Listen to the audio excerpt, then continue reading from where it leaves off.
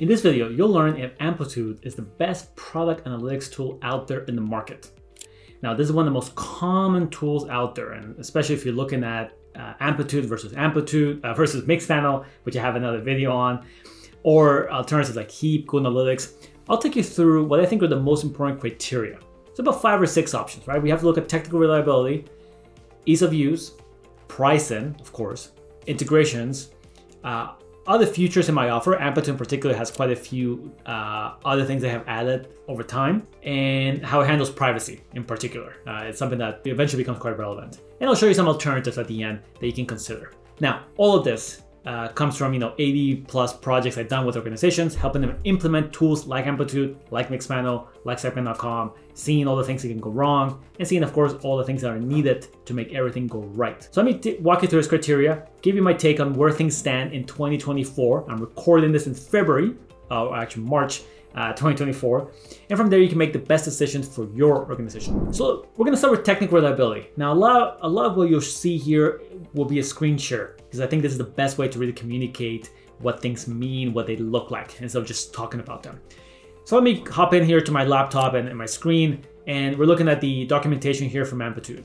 Now, technical reliability, uh, I think about it uh, as to how easy it is to get data into Amplitude. So we have to look at what kind of SDKs they offer. Now some are pretty standard, right? Uh, we have, for example, the uh, the JavaScript, uh, what they call the browser uh, SDK. Actually, right here, the browser that's the older one, right? This is the browser SDK. Uh, it has all the kind of things you would expect. You can track events, right? You can add properties to those events. Uh, you can track user properties. There's the ability to to to group them. You can do user IDs, there's things around UTM tracking here for marketing attribution, and a bunch of other things. So this is all pretty standard stuff. Now, as long as you use the SDKs, the implementation will be relatively straightforward. Now, there may be some issues you may run into. If you've never done this, it can be a little difficult, but the SDKs do a lot of the heavy lifting for you. Now, outside of the browser one, we, uh, we then of course have um, the iOS Android client SDKs, and then we have a few other things, right? We have we have some backend SDKs. Uh, we may look at some Java, uh, some Python, there's React Native, Unreal, and so on. And of course, if none of this work, they, they always offer uh, an HTTP API SDK that you can work with. However, once you go that route, it gets a little trickier. Uh, so what you really want to look for from a technical perspective is if they have an SDK for the framework of your product. Uh, if they do, things will be very, uh, or at least much easier. If they don't, things will be much harder, right? So I find Amplitude has a, a wide range of SDKs. You have pretty much what you expect here, uh, generally speaking. It's a few that are actually quite uh, unique, like Unreal. You, you, don't see that too much uh, in other tools like Mixpanel. But the other ones are pretty standard. The JavaScript, the iOS, the Android, the Node, the React Native, and so on. They're all here. Uh, so I will say that this is very solid. In my experience working with lots of different SDKs, they all work well. Uh, they're well documented and they have all the features you need. So very solid first start here for Amplitude. Now let's look at ease of use. Now here's a demo that Amplitude offers. Uh, this is the way I can show you some data without uh, revealing the privacy of the organizations I work with. And when we look at the privacy, and there's a lot of features here that are not available in a regular account, as we'll see in pricing in a second.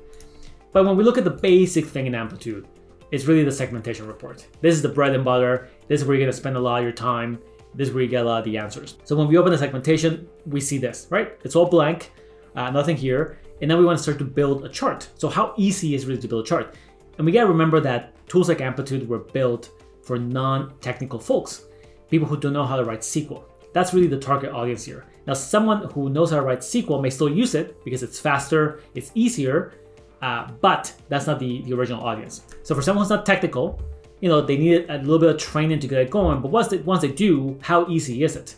So we can, you know, we can select an event. For example, we can take this event called purchase song or video. Within a few seconds, we get uh, data here. You know, we're looking at the last 30 days of data for this specific event. In this case, we're looking at unique users and how many unique users fire this event. In this case, how many unique users purchase a song or video in the last 30 days.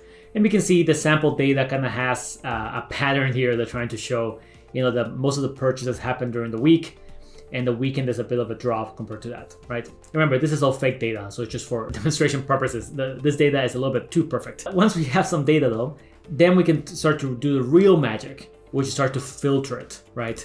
So we can start to group it. So perhaps we want to group it by city, right? Not a lot of data here by city. Let's try something else. Let's see if this sample data has some platform. Perfect.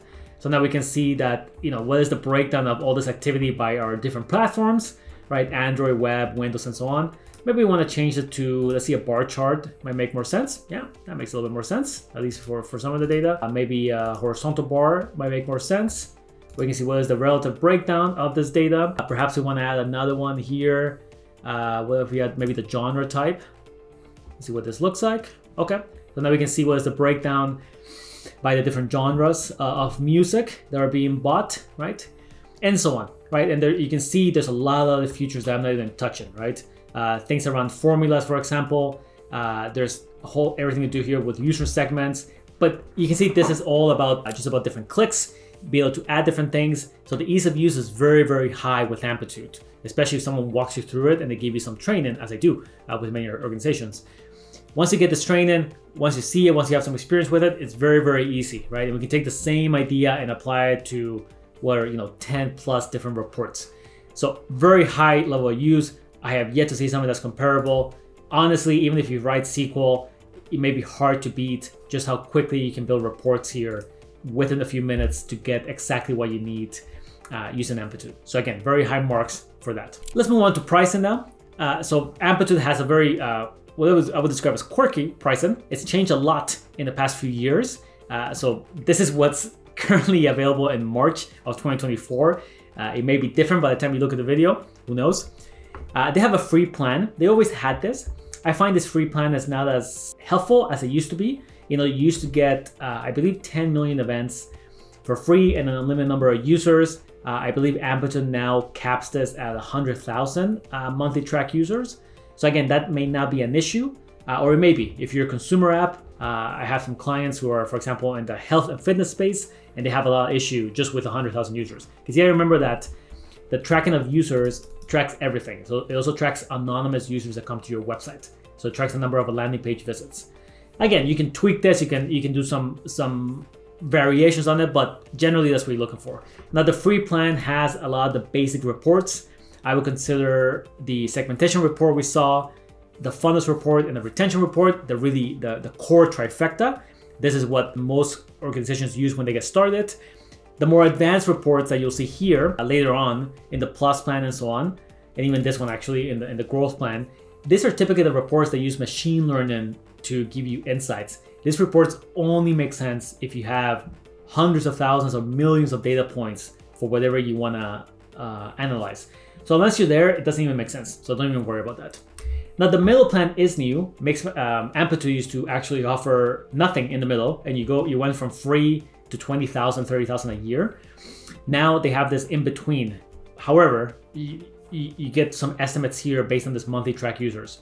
So you can see that if you were to have you know those same 100,000 uh, users, uh, they're about uh, a thousand, what's about like 8,000 a year, give or take. So, so you, you know, you, there's different ways of paying, there's different ways of growing. You have some gradual price in here, but I do find it can be quite steep depending on how many monthly track users you have. So just the one downside. Otherwise, very similar pricing. I think you get a lot of what you need at the beginner levels, even at the plus levels. Uh, and you can get a lot of value out of Amplitude, assuming you fit well into this pricing model. Let's now look at integrations something that Amplitude has done really well in the past few years. When I first started covering Amplitude, they had no integrations. Now they have a lot.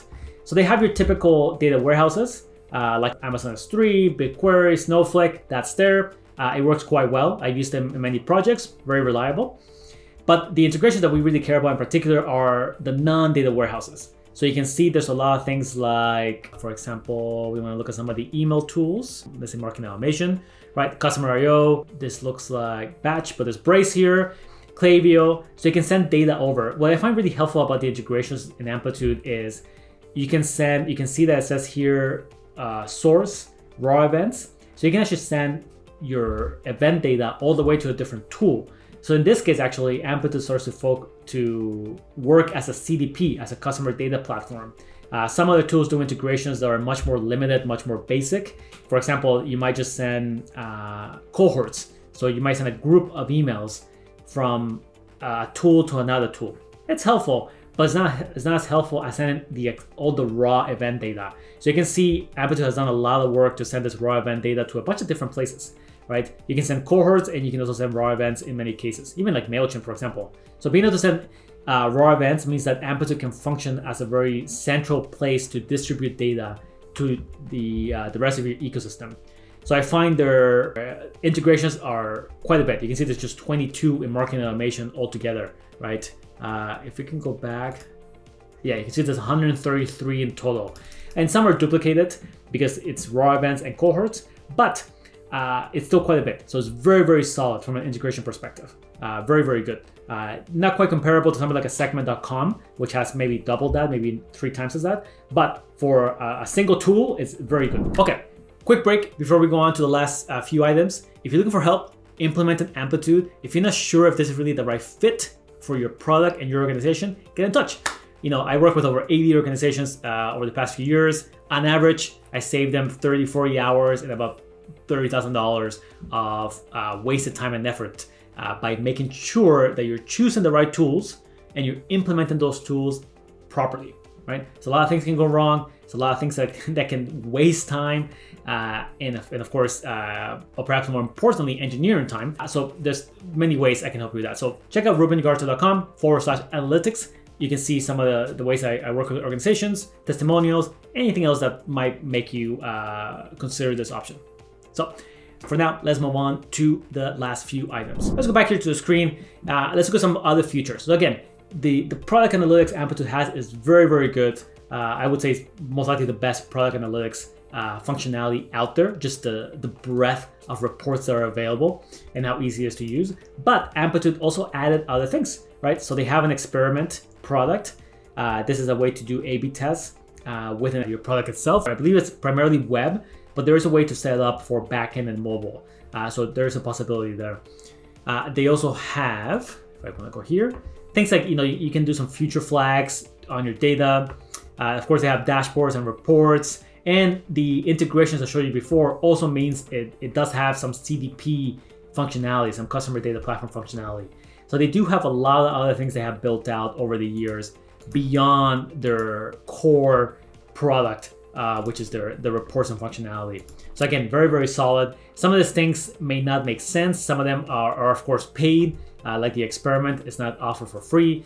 Typically, I see organizations more on the enterprise side who take advantage of it, who don't have an A/B testing uh, solution. So if you have your own A/B testing, perhaps something like uh, Chameleon or VWO, it may not be so, so valuable. But if you want to consolidate everything to one place, even like a CDP kind of functionality, this actually can be quite helpful. Some of these features are very, very solid uh, and quite comparable to just standalone alternatives for that in the market. Last couple things, finally is privacy. Nothing to screen share here, just something to show um, Amplitude, like many other tools, they have APIs for handling GDPR requests. So this is a request to be able to delete data. Uh, it makes it quite easy to do it. And of course, it makes it possible to automate it in the future. So that's something you can do. Something else I do want to show you here, actually here in the screen share, is if we look at the data here in Amplitude, it's, you know, when we look at the user profile, it's how we, we build the data. A lot of times, you know, we, we can send emails or other kind of PII to Amplitude. It's kind of helpful to send that. It makes it a little bit easier to find users, but you don't have to, right? So I work with many projects where we don't send any kind of PII, we don't send names, we don't send emails, we don't send phone numbers. Uh, even the user IDs themselves, we might hash them before we send them over. So everything in here is, is sort of like a blind profile uh, about who the user is, uh, but we can still take advantage of a lot of the behavioral analysis functionality without the PII. So you can make Amplitude be much more privacy compliant uh, or safer on the privacy side uh, beyond some of those GDPR APIs and so on. So I would say from a privacy side, it's very good. It does require some thinking to get it right, but you can definitely tweak this and maintain a lot of the functionality even if you don't have the PII. One thing to note, of course, is if you don't have emails, some of those destinations or integrations may not work as well. For example, some of the email marketing tools may not work, uh, but there's some workarounds and things you can do. It just, again, requires a little bit more thinking and work. Finally, uh, some of the alternatives that you can consider uh, in this space. Number one, of course, Mixpanel. This is the tool everyone compares Amplitude to. Uh, I actually have a video where I compared both of them side by side, so you can check that out if you want to see exactly the, the pros and cons. uh, but I find that's it's relatively comparable uh, if you look at some things. Uh, another element, Amplitude is much stronger. It just has there's some reports, especially some of the machine learning reports, and there's some functionality like the experiment and of course the CDP functionality that Amplitude that Mixpanel just does not have in any kind of comparable fashion. But check out the video uh, for more details on that. Otherwise, it is a solid option if you don't care about some things. Uh, Heap might be another option. It, it, doesn't have nearly as much as functionality as Amplitude as well, but again, it does offer some things. And for some organizations, you really might just need a data warehouse and SQL, right? Uh, especially if you have teams or if your team is technical enough. I have seen teams where everyone knows SQL, so some of this ease of use might not be relevant. That's all I have for today. Now, my conclusion for Amplitude is that it, this is really the best product analytics tool out there. It has the most functionality, it has the most room to grow, it has other features that might be relevant that you might want to use in the future. I would say the main downside Amplitude has is pricing, especially for those high uh, user count type products, especially consumer products, consumer apps. Uh, so you, you, you might be forced to pay a lot for Amplitude before you your product might be bringing on enough revenue to justify it. But from a future perspective, uh, it's quite solid, right? And you know, in, in the video where I compare it to Mixpanel, that, that's my general conclusion as well. So very, very, very good product. Uh, so if, if, it makes sense for you, uh, I would recommend it. Now, my name is Ruben Ugarte. I help organizations set up and implement tools like Amplitude, Mixpanel, Segment.com. Make sure they get enough insights out of it. As I mentioned, if you're looking for help for that, check out rubenugarte.com forward slash analytics uh, and see some of the ways I have helped organizations really make sure that this implementation happen properly, on time, and you're really working to get the right insights from it. We're on YouTube, so make sure to like, subscribe, comment, anything else you can do on YouTube. And in the comment section below, let me know. Do you think Amplitude is the best product analytics tool out there? Do you agree with my assessment? If so, I'd love to hear in the comments. Until next time, talk soon.